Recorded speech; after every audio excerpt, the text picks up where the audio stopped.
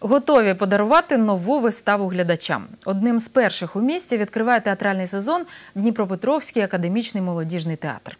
Прем'єра вистави за п'єсою англійського автора Пітера Куїлтера має привернути увагу не лише звичайних шанувальників мистецтва, а й представників театральних професій.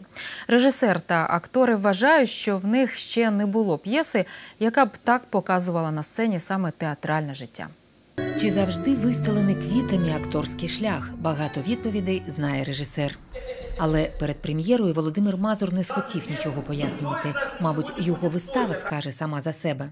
Только успели починить колеса телеги, обнаружили, что потеряли световую партитуру. Представляешь?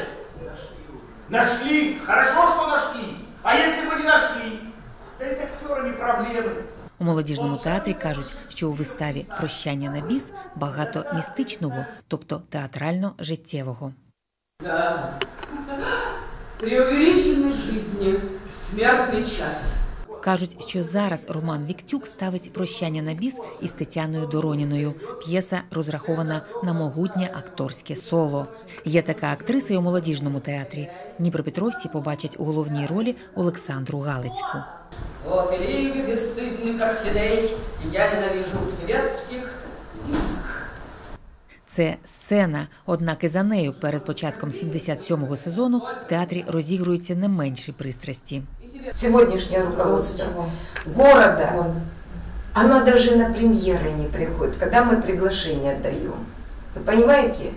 Я понимаю, люди заняты. Образа співробітників театру зрозуміла. Близько 300 вистав для дітей та дорослих показують на рік дві трупи театру. Більшість йде із аншлагом. Все відбувається у невеличкому, пристосованому приміщенні, де умови для творчої роботи давно потребують оновлення. Звичайно, глядачі цього не повинні помічати. Наші актори, керівництво театру завжди бачать, що нас чекає впереді. Впереді нас чекає впевненість в наших силах, хороший репертуар, який буде змінюватися з урахуванням вимог глядачів. І ми йдемо до цього з відкритим забралом, з надією на майбутнє. Нова вистава розпочне своє життя на сцені молодіжного театру 12 вересня.